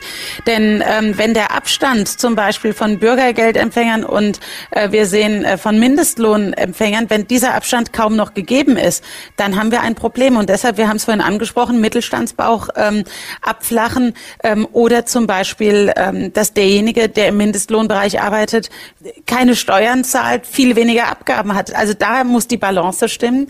Und der, der sagt, pass auf, ich ich habe einen Vollzeitjob, aber will noch ein paar Überstunden machen, dass der das dann auch steuerfrei in der Tasche hat. Oder Stichwort Rentner, die noch fit sind, deren Fähigkeiten wir brauchen. Und wenn die auch noch länger arbeiten in ihrer Rente, dass sie das auch steuerfrei tun können. Kurzum, es muss sich am Ende rechnen und lohnen. Und das ist eine gute Motivation. Und wir müssen natürlich über die Jobs auch gut reden, gerade bei denen, wo wir große Lücken haben. Wer wie Friedrich Merz Leistung einfordert und davor warnt, sich, Zitat, nicht in Transferleistungen zu überbieten, der bekommt sofort Kritik von den Grünen, deren Tenor, Merz redet das Land faul. Hast du die Hoffnung, dass Klartext über unsere Leistungsbereitschaft trotzdem möglich ist? Ja, Absolut. Also die Frage ist doch, wer regt sich auf und ist das die Mehrheit? Wenn man in Twitter, heißt ja jetzt X, ähm, oder in einige der, der, der Medienschaffenden schaut, also oder die Landschaft schaut, da ist ja klar, welche Reflexe von wem kommen. Also wir brauchen jetzt nicht von den Grünen den, also Friedrich Marz braucht nicht den Applaus der Grünen. Wenn er den allzu häufig hat, dann kriegt er den Applaus nicht mehr seiner Wähler, sondern weil die wählen ihn ja gar nicht. Also kurzum, die Masse der Bevölkerung ist nicht die, die übrigens die lauteste immer ist. Und Lautstärke ist auch nicht gleich immer Wahrheit. Und ähm, insofern ähm, nochmal zurück zu meinem Punkt, einfach mal Maß und Mitte auch gelten zu lassen. Die Leute sind nicht extrem in die linke oder die rechte äh, Seite. Da sind die allerwenigsten, die irgendwie unsere Verfassung angehen wollen und unser System bekämpfen, sondern die wollen ihren Alltag ordentlich leben, aber sie wollen, dass es ein bisschen gerecht auch zugeht und dass sie nicht die Volldeppen am Ende sind, moralisch beschimpft werden, aber das Land am Laufen halten. Glauben Sie wirklich, dass viele abwägen, zu Hause sitzen und sagen, Menschenskinder, wenn ich jetzt arbeiten gehen, acht Stunden oder mit der An- und Abfahrt dann sogar zehn Stunden. Und wenn ich dann sehe, ich kriege da 200 Euro äh, mehr raus, als wenn ich nichts tue, dass das ein Grund ist, warum viele sagen, jo, dann nehme ich doch lieber das äh, weniger. Glauben Sie nicht, dass Arbeit auch was mit Würde zu tun hat und dass wir das auch wieder stärker in den Vordergrund stellen müssen? Klar, Arbeit ist ja nicht nur Broterwerb. Arbeit hat was mit Sinnfindung, mit Struktur des Tages, mit Teilhabe, mit Kollegen zu tun, mit Würde zu tun. Klar ist das so. Aber Arbeit kann auch anstrengend sein und Arbeit kann auch dazu führen, gerade wenn man nicht so viel rausbekommt, unterm Strich, dass man sich schon fragt, wenn man den Nachbarn links und rechts sieht, der ein anderes Lebensmodell hat, äh, ein Transfermodell hat, ähm, dass man da zumindest gefrustet ist und dass dieser Frust dazu führt, dass ähm, äh, das Kreuzchen dann, den zeigen wir es mal in der Wahlkabine, eben da gemacht wird, wo extreme Parteien dann sind.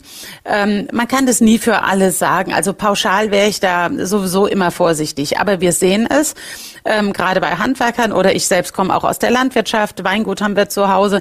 Ähm, wir haben es zum Beispiel auch bei ähm, ähm, Ukrainern gesehen, Ukrainerinnen, die auch bei Landwirten gearbeitet haben zu Beginn, als dann die klaren Erklärungen kamen, was sie direkt im Bürgergeldbezug bekommen.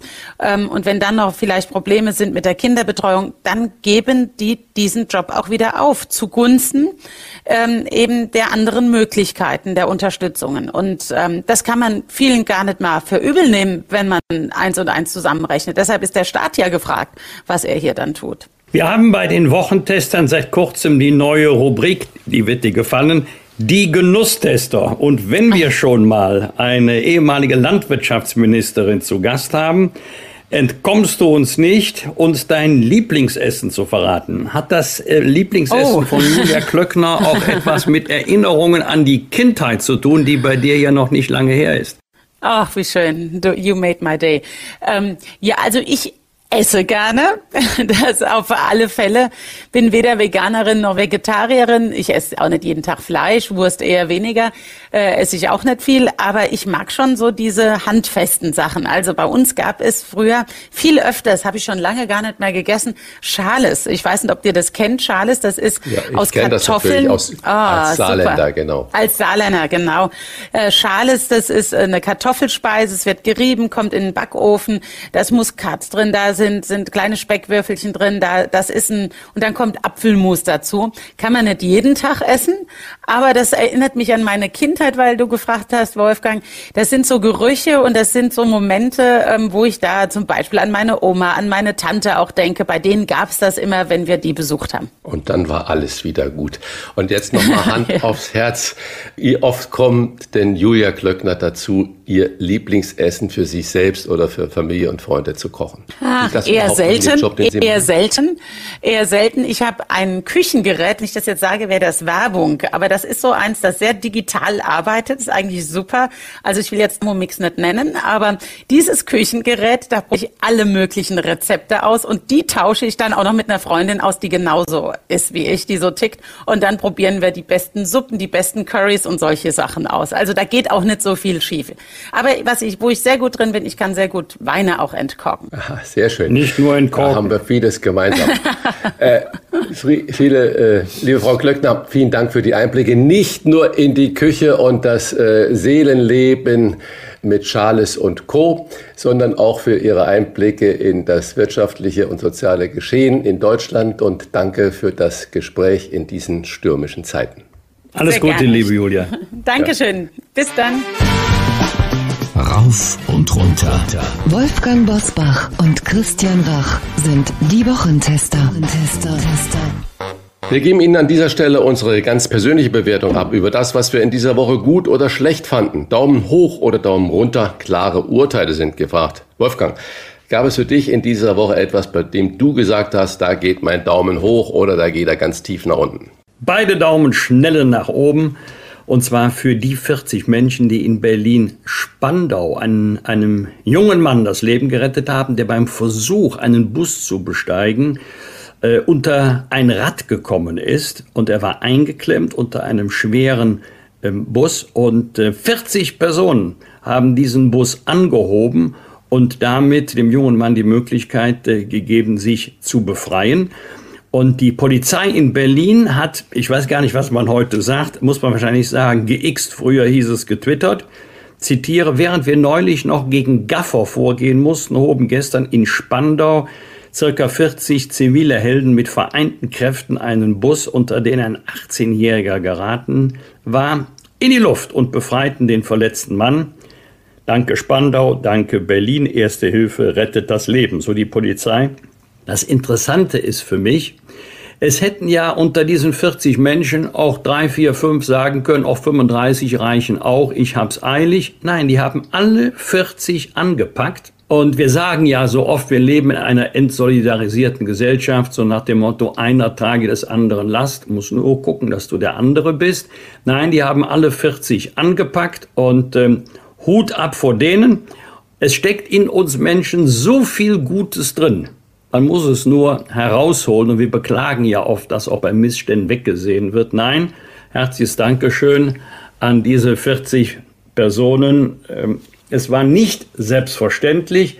Selbstverständlich ist es, anderen Menschen zu helfen, aber wenn man eine so große Menge hat, kann ich mir vorstellen, dass der ein oder andere denkt, also ich muss jetzt nicht unbedingt auch noch dabei sein. Keiner hat so gesagt und dafür kann man nicht laut genug Danke sagen. Schmunzeln musste ich bei der Umfrage der Bertelsmann-Studie zu der Halbzeitbilanz der Ampel. Nun muss ich gleich sagen, das machen im Grunde alle Regierungen so. Wenn wir an der Regierung wären, die Union, wir würden das auch nicht anders machen. Wir würden dann zur Halbzeit sagen, wir waren so fleißig, wir haben so viel abgearbeitet. Und das betrifft die Quantität, das betrifft nicht die Qualität der Arbeit. So ähnlich hat es die Bertelsmann Stiftung, die Bertelsmann-Studie auch gemacht, hat Fleißarbeit bescheinigt, natürlich dann mit der Frage kombiniert, warum sieht die Bevölkerung das nicht und warum sind die Werte der Ampel so schlecht. Ich glaube, es wäre klug, ähm, Regierungen nicht alleine daran zu messen, wie viel Gesetze verabschiedet worden sind, wie viel Rechtsverordnungen die Regierung erlassen hat, sondern welche Qualität hat die Arbeit hat sie Probleme gelöst? Hat sie dem Land eine bessere Zukunft gegeben? Das sollte das Kriterium sein, nicht die Zahl der verabschiedeten Gesetze oder Verordnungen. Dritter Punkt, ich weiß gar nicht, Christian, äh, ob es dir auch so geht wie mir. Ich bin früher wesentlich, wesentlich häufiger ins Kino gegangen als heutzutage. Ich gucke auch viel weniger lineares Fernsehen. Ich bin dann eher bei Netflix und Co unterwegs. Aber das Kinoerlebnis kannst du nicht ersetzen durch den heimischen Fernsehabend, auch nicht durch Netflix und Co. Ich kann mich noch an die ganz großen Filme erinnern, die ich jedenfalls zum ersten Mal im Kino gesehen haben. Und das waren dann ganz andere Ereignisse, als wenn man sie später noch einmal im Fernsehen gesehen hat. Ich sage zum Beispiel Dr. Chivago oder Spiel mir das Lied vom Tod, ein grandioser Western. Da geht man geradezu beseelt nach Hause. Also ich habe selten beseelt den Fernsehapparat ausgemacht. Deswegen möchte ich noch mal eine Werbung machen für ein Kinoerlebnis. Und in Cannes frenetisch gefeiert wurde der Film Killers of the Flower Moon. Das muss ein ganz toller Streifen sein äh, mit Leonardo DiCaprio und äh, wohl in der Hauptrolle und Robert De Niro, über den wir ja auch äh, vor einigen Wochen hier gesprochen haben. Deswegen, manchmal muss man sich aufraffen, runter vom Sofa und in ein Kino gehen, um einen solch grandiosen Film richtig auf sich wirken zu lassen. Wobei ich weiß, zu Hause ist immer bequemer, als wenn man da irgendwo hinfahren muss, auch noch einen Parkplatz suchen muss, Ticket kaufen und, und, und. Und trotzdem, es ist ein Stück unserer Kultur.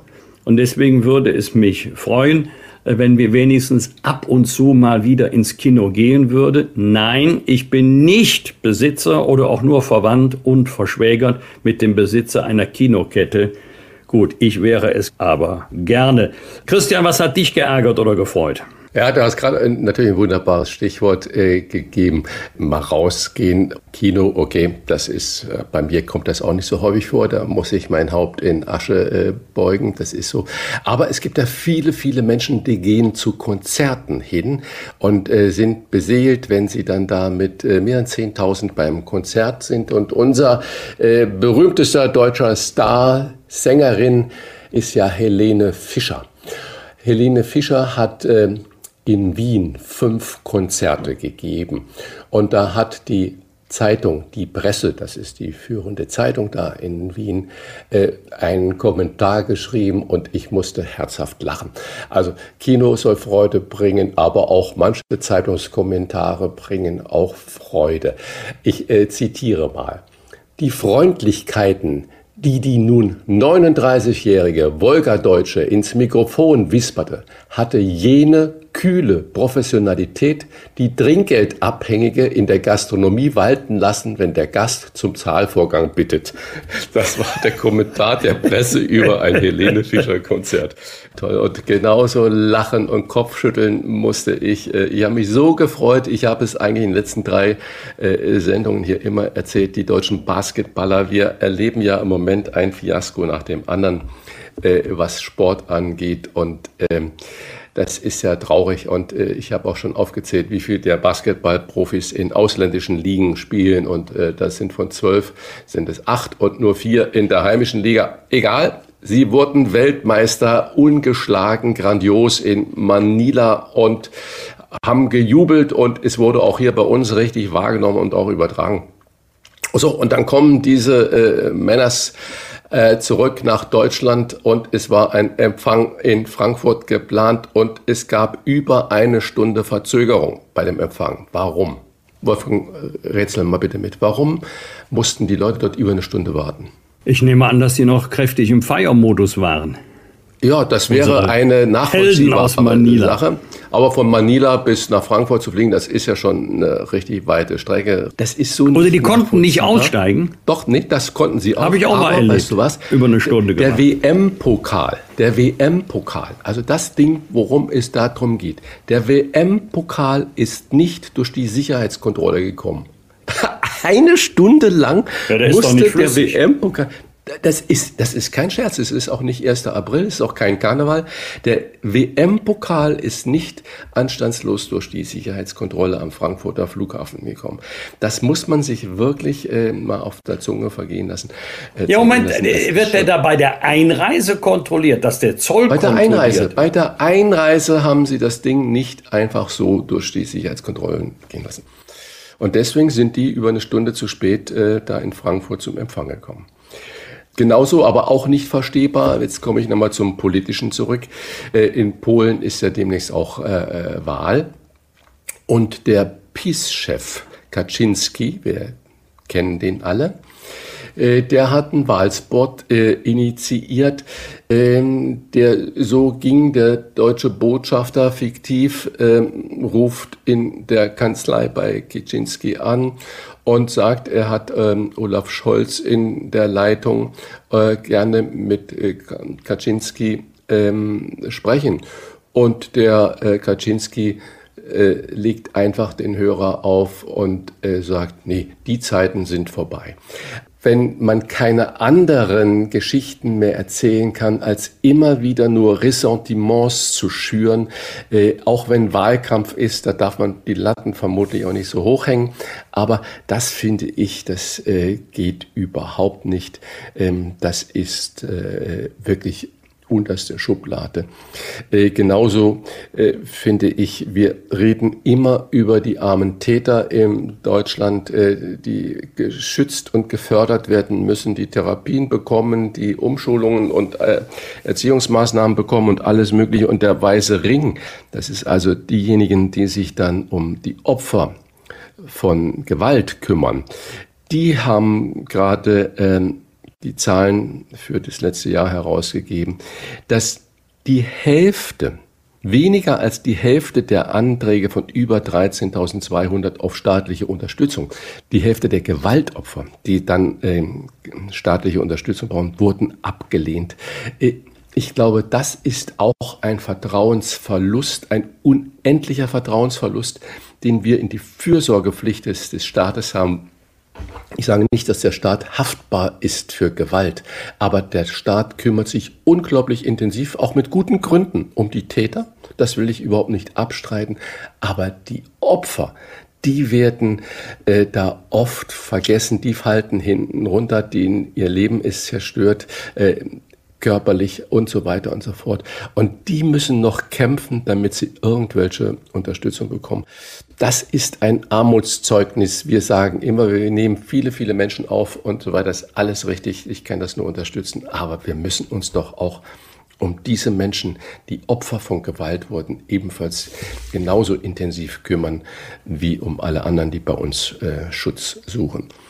Äh, ich hätte gerne noch über Fußball gesprochen, aber eigentlich haben wir mit unserem kleinen Zitat über Rudi Völler alles gesagt und ich kann nur noch mal zwei Statements für alle, die da äh, von unseren Hörern und Hörerinnen interessiert sind, was beim DFB da abgeht. Äh, zwei Statements äh, empfehlen. Eins von der Frankfurter äh, Allgemeinen, ich glaube von Hans-Joachim äh, Watzke, dem stellvertretenden DFB-Chef und Chef äh, von Borussia Dortmund. Der hat sich ausgelassen über die Reform im deutschen Nachwuchsfußball, wo auch äh, die Spiele, wo es keine Sieger mehr geben soll und so weiter. Wir laufen da in eine Zeit hinein, äh, wo es keine Sieger gibt, gibt es keine Verlierer und das äh, Verlierer könnte der persönlichen Entwicklung schaden und so weiter. Ich kann das hier jetzt nicht in aller Deutlichkeit sagen. Und äh, auch äh, Matthias Sammer hat ein beachtenswertes Interview in der Süddeutschen Zeitung äh, gegeben, wo die Kollegen Reporter noch gesagt haben, oh, und er kam ja richtig gut vorbereitet äh, da an. Ja, natürlich kommt er vorbereitet da an. Und das, was er zu sagen hatte, äh, das sollte eigentlich ein Weckruf für den deutschen Fußball sein. Also wer da Lust zu hat, Watzke, äh, Interview lesen und Matthias Sammer Interview lesen. Beide sehr, sehr aufschlussreich. Was wird? Was wird? Wolfgang Bosbach und Christian Rach sind die Wochentester. Ja, ist denn schon wieder Oktoberfest? Das kommt nicht von mir, denn am Samstag beginnt das 188. Münchner Oktoberfest. Und es geht diesmal sogar bis zum Oktober, bis zum 3. Oktober wird auf der Münchner Wiesen geschunkelt und gefeiert. Und wir haben uns hier an dieser Stelle jedes Jahr darüber unterhalten mit der Erkenntnis, dass ich eher äh, da nicht so viel mit anfangen kann.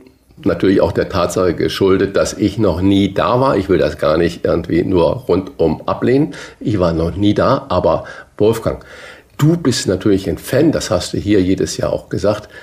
Ich sage einfach mal gar nicht, ob du dahin gehst, sondern ich frage, in welchem Zelt finde ich dich denn, falls ich dahin gehe?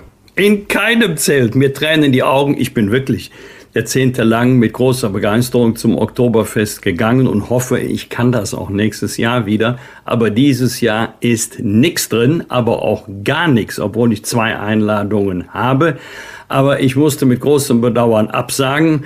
Äh, ich, ich trage ja dann auch gerne Tracht, bevor sich jetzt einer aufregt, Überschrift kulturelle Aneignung. Nein, ich fühle mich dann wohl, wenn ich da mit der Krachledernen auftreten und eine Maß stemmen kann.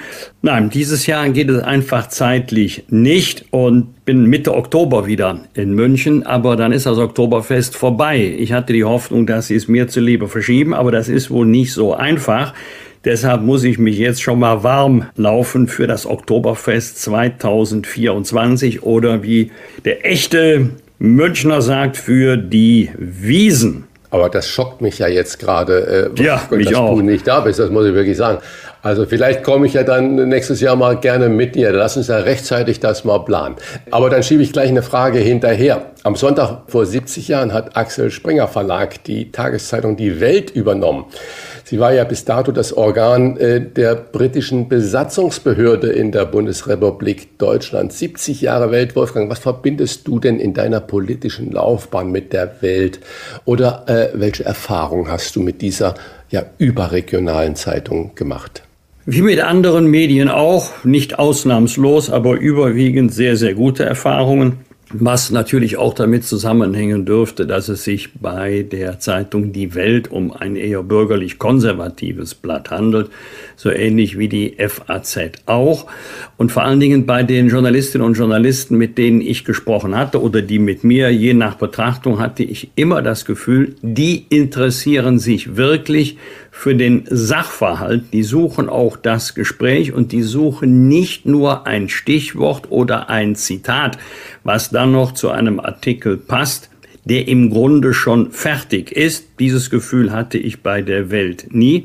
Ich glaube im Übrigen auch nicht, dass Springer viel Geld mit der Welt verdient. Vielleicht sogar ist das ein Zuschussgeschäft im Gegensatz zu anderen Produkten des Hauses Springer. Aber das ist auch ein politisches Statement für seriösen Journalismus. Und da möchte man wohl unbedingt diese politische Farbe im Hause Springer auch beibehalten. Das freut natürlich einen eher konservativen Politiker wie mich, weil die Medienlandschaft ja im Übrigen doch relativ Mitte-Links ist oder liberal Mitte links, bürgerlich konservativ findet man eher im Blätterwald weniger. Am Dienstag wird in Hamburg die erste Lego-Steine-Lieferung erwartet für das, Achtung, Lego Discovery Center, das gegenüber dem Überseequartier eröffnen wird. Lego, lieber Christian, ist ein echter Klassiker, eine starke Marke. Haben dich Lego-Steine als Kind fasziniert? Hast du mit deiner Tochter Lego gespielt oder hatte sie dafür nicht so großes Interesse? Beide Fragen könnte ich ganz kurz und knapp mit Nein beantworten. Also ich äh, hatte zu Hause früher als Kind vielleicht äh, 20 Lego-Steine oder was, aber wir waren nur draußen, wir waren nur im Wald auf Bäume geklettert, wir haben Fußball äh, auf den Wiesen gespielt und uns äh, äh, gekloppt oder sonstiges und Fahrrad gefahren und im Teich äh, äh Ringelnatter gefangen, aber äh, Lego-Spiele äh, war einfach nicht da und die restliche Zeit, die dann noch über war, musste man für die Schule lernen. Also Lego war nicht in meiner Welt vorhanden und auch nicht in der Welt meiner Tochter, da muss ich sagen. Aber, jetzt kommt das große Aber, was ich ja faszinierend finde, wenn ein Konzern oder eine Marke, die so lange am Markt ist, es schafft über diese vielen Jahrzehnte, sich permanent neu zu erfinden, zu aktualisieren und immer noch total en vogue und vorne auf der Welle mitzusurfen, da kann ich nur Bravo, Bravo, Bravo rufen, weil viele Traditionsmarken schaffen genau diese Erneuerungen, die es ja immer wieder erfordert, eben nicht und sind dann wo man dann sagt, ach, erinnerst du dich eigentlich noch an? Das heißt, das ist ein Konzern, der immer mit der Zeit gegangen ist, beziehungsweise auch die Zeit geprägt hat und sie heute immer noch prägt. Und wenn man nur sieht, gegenüber dem Überseequartier in Hamburg ein viel teureres Pflaster gibt es nicht. Das heißt, die Firma äh, muss sich das auch leisten können. Da werden viele Millionen Menschen sich das angucken und das wird ein weiterer Publikumsmagnet sein. Und da kann ich nur Bravo sagen. Mir fällt so ein ähnliches Beispiel an, ganz anderes Metier, Rotkäppchensekt aus der ehemaligen DDR übernommen, totgesagt und die haben das ebenfalls geschafft, aus diesem Namen heute auch noch, äh, was auch immer man von dem Produkt dann hält, äh, das so zu machen, dass es im wahrsten Sinne des Wortes in aller Munde ist. Und da sage ich immer nur von den Unternehmerseite her, bravo, bravo, bravo. Warum heißt Lego Lego? Weil Lego von Logo kommt. Ja, das sagen viele. Ich, Lego, äh, lateinisch, ich lese, ich sammle. Aber da Lego seinen Ursprung in Dänemark hat, habe ich irgendwo mal gelesen, Lego ist die Abkürzung für, hoffentlich spreche ich das jetzt richtig aus, bevor die Dänen in Ohnmacht fallen, Leg Gott mit, also G-O-D-T. Dänisch Spiel gut. Ich glaube, viele glauben, das ist ein typisch urdeutsches Produkt. Nein, es kommt ja. oder kam aus Dänemark. Ja. Ja, aber die unternehmerische Leistung schmälert das natürlich ja, ja, völlig richtig. keinster Form. Ja, das finde ich. Auch über Generationen hinweg, nicht nur einen langen über Zeitraum, über Generationen genau, ganz hinweg. Genau. Und das komplette Antiprogramm beginnt am nächsten Mittwoch in Köln, nämlich die Digitalmesse die Mexiko. Sie gilt als Leitmesse für die digitale äh, Wirtschaft. Wolfgang, bei welcher Dienstleistung oder bei welchem Produkt in deinem Alltag denkst du immer wieder gut, dass das heute alles digital funktioniert? Also ich muss sagen, ich bin da kein Freak. Ich bin äh, immer dankbar, wenn es schwierig wird, wenn Kinder in der Nähe sind. Meine Töchter kennen sich da zehnmal besser aus als der Vater. Aber ich benutze relativ häufig die Kurznachrichten. Früher SMS, heute mehr WhatsApp. Und ähm, ja, auch Kommunikation per Mail. Ich glaube, Christian, das geht ja auch so, wenn man viel unterwegs ist in der Republik, ist man doch dankbar, wenn man via Smartphone sehr schnell etwas erledigen kann, wofür man doch früher zu Hause sein musste und einen größeren Aufwand betreiben. Buchst du nichts digital, zum Beispiel über Smartphone, wenn du auf Reisen bist und du denkst, oh, jetzt muss ich heute Abend noch ein Hotel schnell irgendwo haben oder sonst oder den Ja, Flug ganz selten. umbuchen? Ganz selten mal ein Mietwagen, mal eine Zugverbindung. Ähm, aber so häufig kommt das nicht vor. Also vielleicht ein, zweimal pro Woche. Allerdings ähm, WhatsApp ist doch klar, wenn man eine große Familie hat und will dann die Kommunikation, wenn man unterwegs ist, aufrechterhalten, dann greift man häufig ähm, zu SMS oder WhatsApp, wobei ich auch weiß, wenn die, wenn die Kinder so eine ganz kuschelige WhatsApp schreiben, so für den besten Papa oder mit Küsschen und Herzchen, weiß ich, dass ich meine Antwort reduzieren kann auf die Frage, wie viel? Gut. Christian, am Mittwoch ist der 50. Jahrestag des Beschlusses von Bund und Ländern zur Einführung der bundesweiten Notrufnummern 110 Polizei und 112 Feuerwehr. Zuvor gab es einheitliche Nummern nur in wenigen Großstädten. Bis die 110 und die 112 flächendeckend verfügbar waren, dauerte es noch einige Jahre. Christian, hast du schon mal die 110 oder die 112 gewählt? Vielleicht, weil man versucht hatte, dir Rezepte zu klauen? nee, äh, ja, ich habe vielleicht äh, zwei, dreimal 110 und 112 gewählt. Einmal äh, eine alte Dame gestürzt äh, die Treppe und es war fürchterlich viel Blut und ich war bei ihr und sie stabilisiert und ähm, natürlich den äh, Rettungsdienst gerufen über die 112 einmal einen Verkehrsunfall gesehen und dann die 110 äh, gerufen für die Polizei. Ich finde das großartig, dass äh, diese Rufnummern auch europaweit heute ja einheitlich sind und dass du, egal ob in Spanien, Italien oder in Frankreich, diese gleichen Nummern wählen kannst. Das ist also großartig. Bosbach und Rach. Im Internet diewochentester.de Und damit kommen wir auch schon zum Schluss. Das waren die Wochentester mit Unterstützung vom Kölner Stadtanzeiger und dem Redaktionsnetzwerk Deutschland. Wenn Sie Kritik, Lob oder einfach nur eine Anregung für unseren Podcast haben, schreiben Sie uns auf unserer Internet- und auf unserer Facebook-Seite. Fragen gerne per Mail an kontakt.diewochentester.de und wenn Sie uns auf einer der Podcast-Plattformen abonnieren und liken, freuen wir uns ganz besonders. Danke für Ihre Zeit und fürs Zuhören. Alles Gute, bis zur nächsten Folge. Was war? Was wird? Wolfgang Bosbach und Christian Rach sind die Wochentester. Ein maßgenau Podcast. Powered bei Redaktionsnetzwerk Deutschland und Kölner Stadtanzeiger.